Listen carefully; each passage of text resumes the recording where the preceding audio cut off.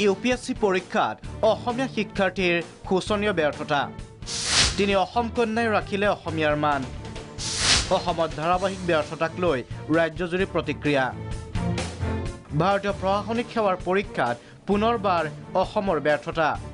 শেহতীয়াভাৱে U P S চিয়ে প্ৰকাশ কৰিলে দুহেজাৰ একৈছ বৰ্ষৰ ফলাফল।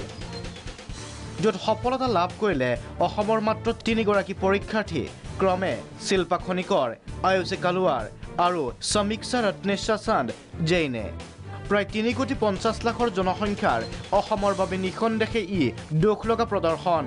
ইউ পি এছ চিয়ে প্ৰকাশ কৰা তালিকা অনুযায়ী সফলতা লাভ কৰা সৰ্বমুঠ ছশ পঁচাশীগৰাকী পৰীক্ষাৰ্থীৰ ভিতৰত মাত্ৰ তিনিগৰাকী অসমৰ।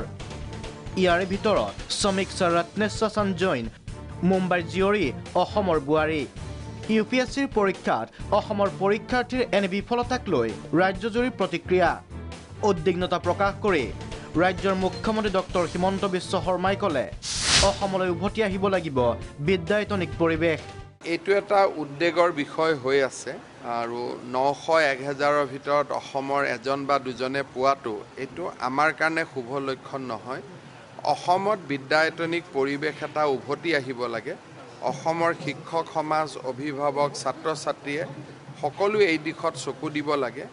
আনহাতে প্ৰতিক্ৰিয়া প্ৰকাশ অসমৰ পৰা ভাৰতীয় প্ৰশাসনিক সেৱাত কৃতকাৰ্যতা লাভ কৰি ৰাজ্যৰ গুৰুত্বপূৰ্ণ পদবীত কাৰ্যনিৰ্বাহ কৰা একাংশ প্ৰাক্তন তথা বৰ্তমানৰ উচ্চপদস্থ প্ৰশাসনিক বিষয়াই ৰাজ্যৰ প্ৰাক্তন D G P I P S Kuladhar শইকীয়াই কয় অসমত নহয় সৰ্বভাৰতীয় পৰীক্ষাত বিফলতাৰ বিশ্লেষণ। সৰ্বভাৰতীয় স্তৰত বিভিন্ন পৰীক্ষাত আমি কেনেকুৱা কৰিছোঁ?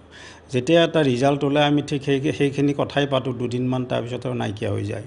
কিন্তু কথাটো হ'ল কি আমি কি কি কাৰণে ল'ৰা ছোৱালীয়ে আমাৰ পঢ়িব আগবাঢ়িব পৰা নাই সেই কথাষাৰ আচলতে নিজে বিশ্লেষণ কৰাৰ উপৰিও আমি আটাই আচলতে কথাষাৰ ভাবিব লাগে যে সামাজিক পৰিৱেশৰো কথা আছে নেকি তাত নে অন্য ধৰণৰ কথা আছে?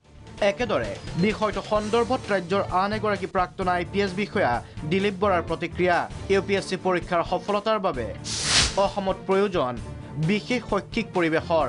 এইটো ফলাফলৰ ওপৰত ভিত্তি কৰি আমি অসমৰ ল'ৰা ছোৱালীৰ মান শিক্ষাৰ মান বা যোগ্যতা আগতকৈ কম হৈছে বুলি কোৱাটো অলপ অসুবিধা। মই ভাবোঁ যে অকল পুথিগত জ্ঞান আহৰণ কৰিলে ইউ পি এছ চিৰ পৰীক্ষাত সফলতা লাভ কৰাটো বৰ এটা সহজ কথা নহয়। গতিকে অসমৰ শিক্ষা ব্যৱস্থাত মই ভাবোঁ তেওঁলোকে যিটো হলিষ্টিক এপ্ৰ'চ বুলি কয় সকলো ধৰণৰ শিক্ষা সেই ধৰণৰ শিক্ষা ল'ৰা ছোৱালীক দিব লাগে এই কথাটো অত্যন্ত জৰুৰী। এইপিনে ইউ পি এছ চিৰ পৰীক্ষাত অসমৰ শিক্ষাৰ্থীৰ শোচনীয় প্ৰদৰ্শনক লৈ উদ্বিগ্ন। ৰাজ্যৰ আন এগৰাকী জ্যেষ্ঠ আই এ এছ বিষয়া Biswajit Pegu. U P S চিৰ বাবে প্ৰস্তুতি অব্যাহত ৰখা শিক্ষাৰ্থীসকললৈ বিষয়াগৰাকীৰ আহ্বান। এয়া কঠিন পৰীক্ষা নাই কোনো শ্বৰ্টকাট। এই পৰীক্ষাটো কোনো শ্বৰ্টকাট নাই। আৰু খুব কঠিন পৰীক্ষা হয় খুব কম্পিটিশ্যন হয়। গতিকে মই আমাৰ যিসকল কেণ্ডিডেট থাকিব তেওঁলোকক মই এটাই অনুৰোধ জনাব বিচাৰোঁ তেওঁলোকক আহ্বান কৰিব বিচাৰোঁ যে তেওঁলোকে কষ্ট কৰক কম্পিটিটিভনেছ যিটো মাইণ্ডছেটটোত আহি যাওক। ৰাজ্যৰ মুখ্যমন্ত্ৰীৰ লগতে একাংশ সফল প্ৰশাসনিক বিষয়াৰ এনে প্ৰতিক্ৰিয়াৰ পাছত স্বাভাৱিকতে প্ৰশ্ন উঠিছে সৰ্বভাৰতীয় পৰীক্ষাত সফলতাৰ বাবে অসমত কেতিয়ালৈ গঢ়ি উঠিব সঠিক আন্তঃগাঁথনি? Bureau report Prag News.